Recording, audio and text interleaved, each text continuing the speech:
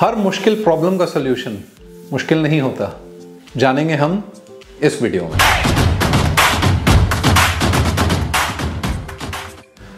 नमस्कार।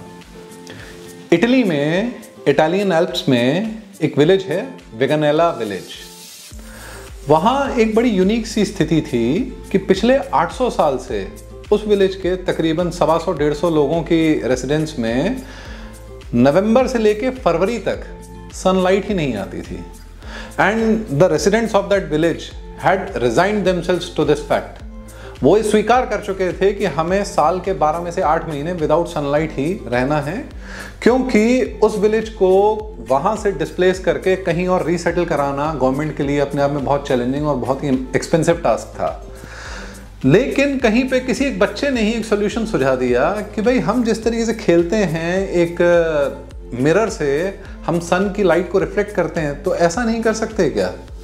सुनने में बड़ा ही अटपटा और अजीब सा बचकाना सा सोल्यूशन लगता है, लेकिन एग्जैक्टली exactly यही सोल्यूशन 2006 में वहाँ पे इंप्लीमेंट किया गया और एक 26 मीटर का बड़ा रिफ्लेक्टिव शीशा वहाँ पे लगाया गया जिससे जिसे एक मोटर के थ्रू कंट्रोल किया जाता था और उस विलेज को सनलाइट मिलती है उन चार महीनों में। कितनी यूनिक अजीब सी प्रॉब्लम थी और उसका सोल्यूशन कैसा? बस एक इम्प्लीमेंटेशन करने की हिम्मत चाहिए और एक out of the box thinking का नज़रिया चाहिए। मैं और भी तीन एग्जांपल्स आपसे शेयर करूँगा। एक बड़ा ही बेसिक सा लेते हैं।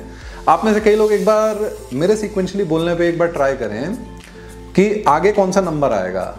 1095, 1096, 1097, 1098, 1099, 1200, 1100.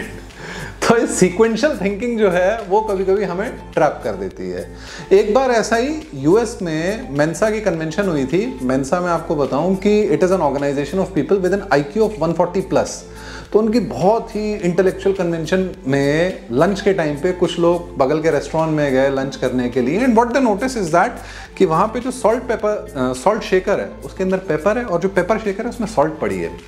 अब वहाँ पे जो भी चीज़ें पड़ी हुई हैं, बिना किसी स्पेशल इक्विपमेंट को यूज़ किए वो इनको इंटरचेंज कैसे करें? ना clearly this is a problem for the intelligent minds तो लोग खूब तरीका निकालते हैं कि किस तरीके से एक प्लेट फोक नाइफ और टिश्यू पेपर को यूज़ करके वो चेंज कर सकते हैं। And finally satisfied with the solution वो वेटरेस को आवाज़ लगाते हैं एक्सक्यूजस तो वेटरेस आती हैं we could not help but notice कि आपका सॉल्ट शेकर में पेपर है और पेपर शेकर में वो कंप्लीट भी नहीं कर पाया अपना सेंटेंस उतने में वेटर्स बोलती हूँ I am so sorry for that और वो इसका ढक्कन उतार के इस पर लगा देती है, इसका ढक्कन उतार के इस पर टोटल सन्नाटा। ब्रिलियंट माइंड्स लेकिन आदत से मजबूर हैं कॉम्प्लिकेटेड तरीके से देख रहे हैं।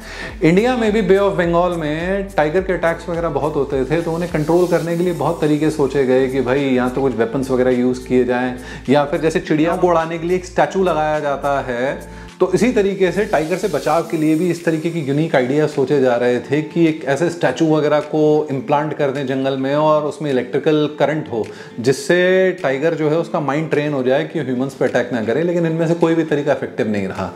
एंड में किसी ने एक बड़ा ही ब्रीफ सा ऑब्ज़र्व करके शेयर किया कि टाइगर जो है, बाघ, शेर जो है हमेशा पीछे से अटैक करता है। तो बहुत ही सिंपल सा सोल्यूशन उन्होंने यूज़ किया कि वो जो एक फेस मास्क होता है, वो पीछे की तरफ़ पहनने लगे। पीछे की तरफ़ फेस मास्क पहनते ही virtually tiger attacks almost zero हो गए। हमारा जो दिमाग होता है ना it is tricked into thinking sequentially and tricked into thinking कि जो कॉम्प्लेक्स प्रॉब्लम है, जो डिफ़िकल्ट प्रॉब्लम है, उसका सॉल्यूशन भी उतना ही कॉम्प्लेक्स और डिफ़िकल्ट होगा। लेकिन यहीं पे एल्बर्ट आइंस्टीन ने कहा था When the solution is simple, God is answering. Thank you.